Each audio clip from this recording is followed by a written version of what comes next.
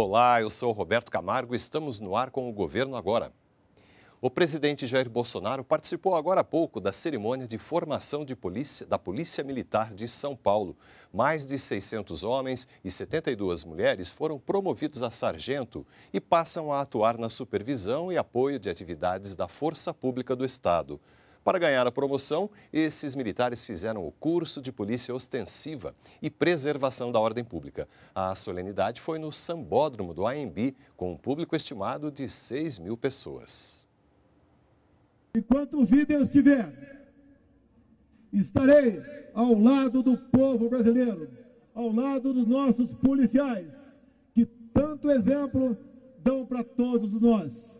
Vocês, policiais, mais do que exemplo, vocês são a certeza que poderemos garantir a segurança e a nossa integridade.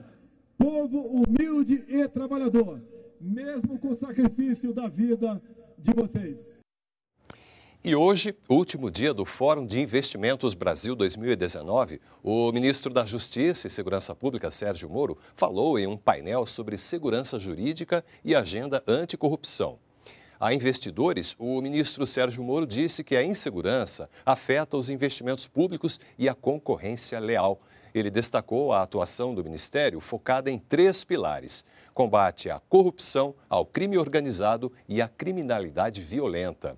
Moro destacou ainda as ações desenvolvidas na área da segurança em todo o país e o que ainda pode ser feito para avançar. E falou também da aprovação pelo Congresso da lei que dá agilidade na venda de bens de traficantes. Quem já não passou em pátios de delegacias ou pátios da Receita Federal tem lá quase uma centena de veículos apreendidos, muitas deles, deles já perdidos por conta de terem sido utilizados em transporte de drogas, aviões, helicópteros, mas muitas vezes se deteriorando sem que eles sejam utilizados. Então, nós colocamos essa medida provisória muito simples no, no Congresso, que basicamente agiliza essa venda e permite que nós utilizemos o dinheiro do tráfico de drogas de imediato para financiamento de ações contra o próprio tráfico de drogas, usar o dinheiro do criminoso contra ele mesmo e também para atender programas de prevenção e atendimento aos dependentes químicos. O vice-presidente Hamilton Mourão vai representar o Brasil na cerimônia de canonização da irmã Dulce, a primeira santa do Brasil.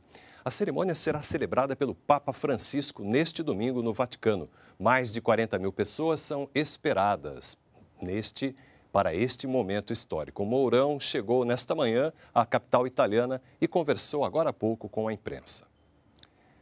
O governo agora fica por aqui. Continue nos acompanhando também pelas redes sociais. Nos vemos na próxima edição. Até lá!